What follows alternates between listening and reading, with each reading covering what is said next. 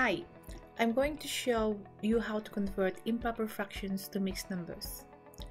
This shape is divided into four equal parts, and so is this shape.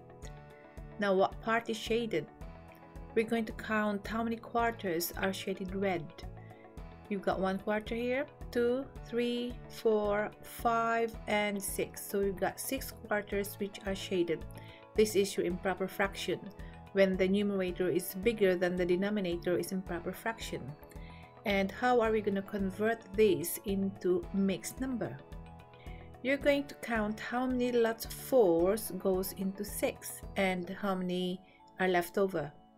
So in these shapes here, you've got one whole shape which is shaded and you have two quarters remainder.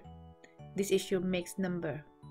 Another way of looking at it will be to divide straight on 6 divided by 4.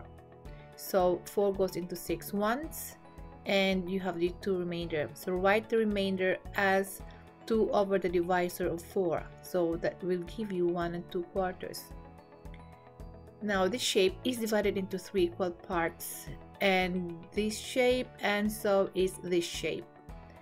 Now there are three equal parts so each part is one third how many thirds are colored green? So we have one two three four five six and you have seven thirds colored green. This is your improper fraction.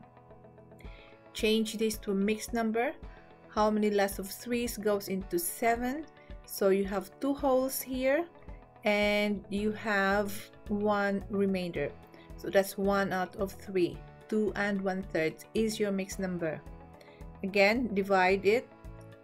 3 divided by uh, 7 divided by 3. So 3 goes into 7 twice and 1 remainder. So you have 2 and 1 thirds. Now let's try converting the improper fractions to mixed numbers without the shapes. So this is your improper fraction, 6 fifths. How many fives home the less of fives goes into six. So you have one and one remainder so you have one and one fifth or six divided by five. Five goes into six ones and one remainder.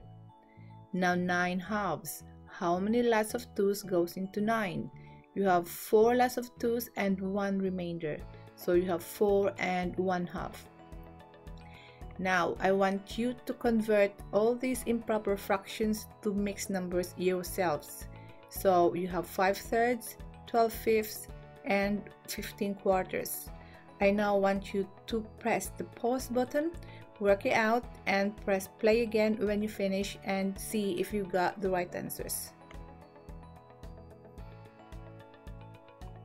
And these are the answers. 5 thirds is 1 and 2 thirds as a mixed number.